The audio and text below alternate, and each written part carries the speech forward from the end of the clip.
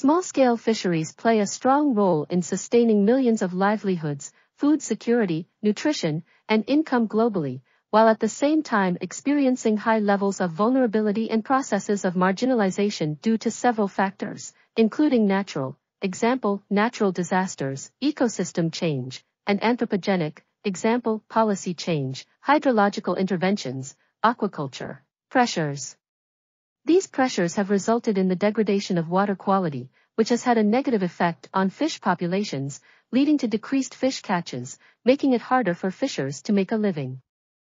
Poor water quality also has indirect effects on the social and economic vulnerability of small-scale fisheries, such as contaminated water sources resulting in fewer fish species, reduced fishing time, and lower market value of fish products, all of which lead to decreased income and increased poverty.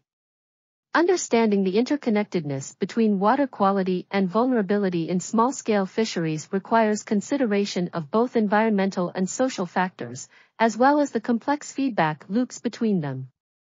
This study provides insight into how water quality affects vulnerability in small-scale fish. This article was authored by Navya Vikraman Nair and Prateep Kumar Nayak.